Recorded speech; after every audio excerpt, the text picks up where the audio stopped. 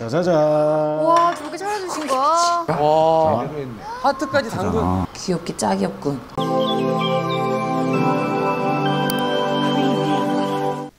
오분만 일찍 오지.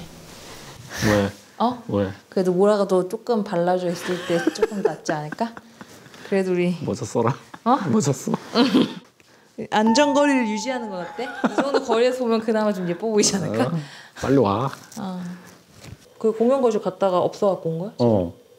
휴게소라고. 그 옷도 아 근데 어. 밥을 안 먹어도 된대. 아 진짜? 딴 거를 해도 된대. 키우카타카. 진짜, 진짜 데이트 케이블카 있어 여기? 통영에 있어요 웬만한 데다 있어요. 되게 긴 거 있어요 어, 또 타보고 싶어. 그래. 물어볼게. 진짜? 도하라고 가보고 싶은 사람이 영자님밖에 없습니다. 네. 네. 표정이 많이. 바뀌었네요 네. 표정이 이제 안정감이 생겼어요 서로 대화하다 보면 웃겨가지고 그다음에 뭐 티키타카도 좀 잘 되는 것 같고 네. 그 부분이 좀 매력적이어서 제 편견을 좀 버리고 한번 만나 보려고 네.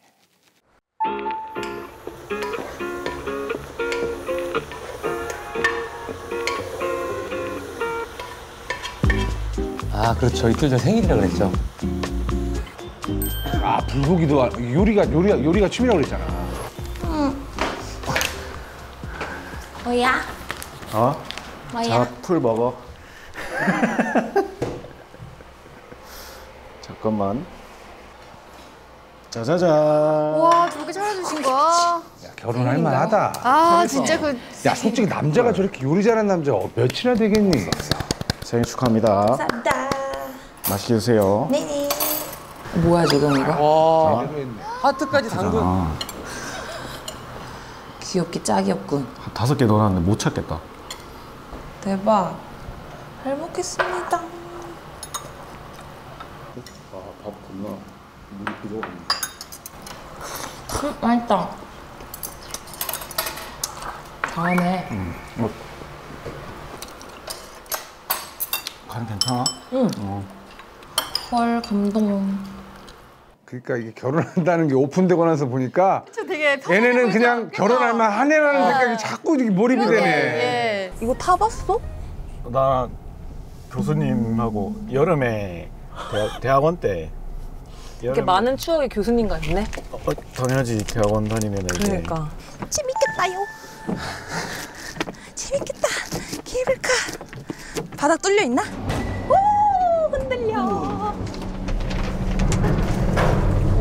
와, 오씨 감동 있는데.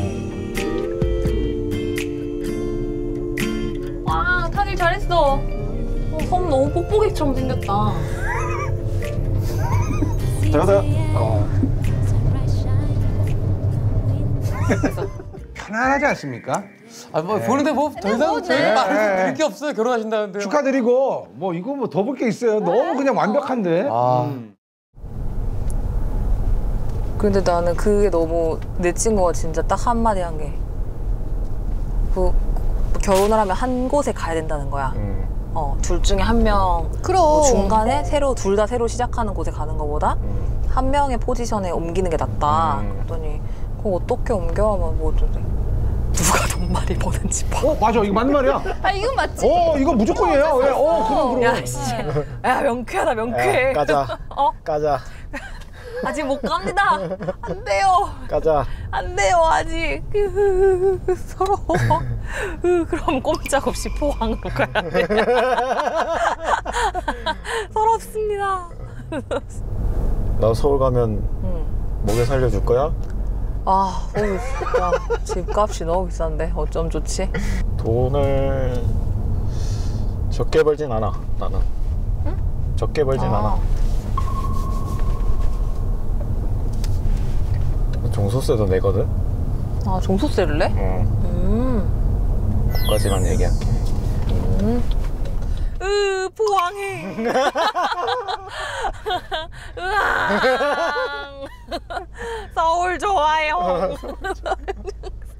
돈에 관련된 것도 이분들은 편하게 그러게요. 자연스럽게 리드를 해서 오. 어 그냥 되게 서로 막 좀 뻘쭘하지 않게. 네. 아니 두 분 지금 신혼집이 포항이래요. 예, 예, 어, 예. 예.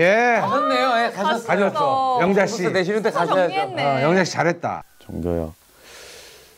사실 결론을 못 냈어요. 못 내고 일단은 그냥 제 마음 가는 대로 해보자라는 게 저의 결론이고 영자님도 그냥 일단은 어, 서로 마음 가는 대로 좀 해보자. 약간 서로가 약간 그렇게 합의된 거 아닌가? 예. 깨게 하는 사람. 깨게 하는 사람이래. 아 저래야지 결혼할 수 있나 봐 진짜. 진짜 저도 보는데 가치관이 바뀌고 나를 어. 바꿔주는 그런 사람. 예. 트라우마라고 해야 되나? 약간 그런 것 때문에 일단 계속 피해 왔는데 지금은 약간 할 수 있지 않을까? 약간 그런 음, 용기를 주는 사람? 약간 예, 그런 그런 의미일 것 같은데요. 예.